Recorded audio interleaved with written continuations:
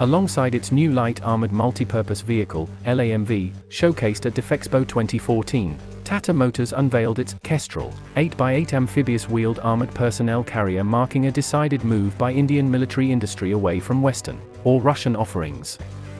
The vehicle has been designed by DRDO, Defense Research and Development Organization, and follows many of the well-accepted lines of contemporary multi-wheeled armored fighting vehicles seen elsewhere.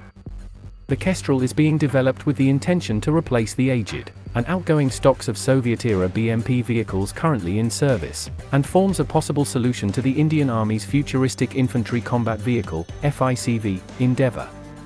Taking recent global warfare results into account, the Kestrel has been designed with a modern approach to crew survivability, given a resistance level against small arms fire, shell splinters and concealed explosives the armor is made up of applique and composites along with welded steel.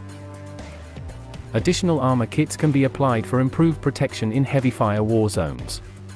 The hull floor is further protected against mines and similar threats.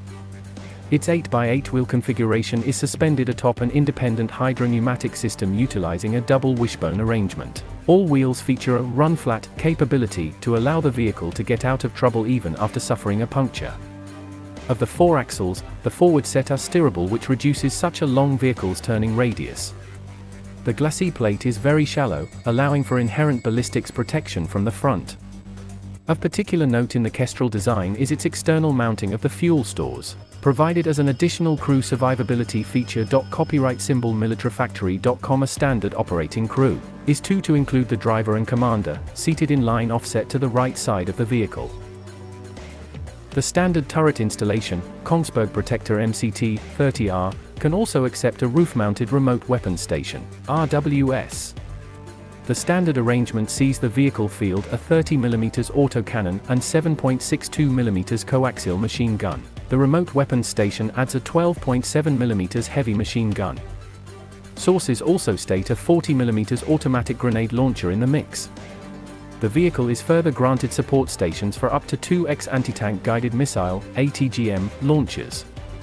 In this way, a single vehicle can counter enemy infantry, light armored vehicles and frontline combat tanks. Firing ports along the hull side introduces the prospect of passenger infantry bringing their personal weapons to bear in a firefight. A further 10 occupants can be carried in the rear passenger compartment, the engine mounted at the front left side of the hull to accommodate the rear cabin area the passengers line a center seating area in a back-to-back -back fashion, facing outwards towards the sides of the hull. A large, rectangular powered door at the rear hull lowers to act as a ramp for quickly embarking and disembarking occupants.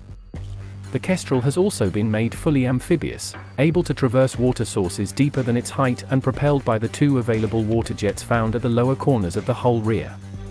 Performance specifications from the diesel-fueled engine includes a maximum road speed of 62 miles per hour. Of course this is considerably reduced when traversing water sources. The Indian Army expects it would have to procure some 2,000 Kestrel armored personnel carriers to replace its entire fleet of BMPs.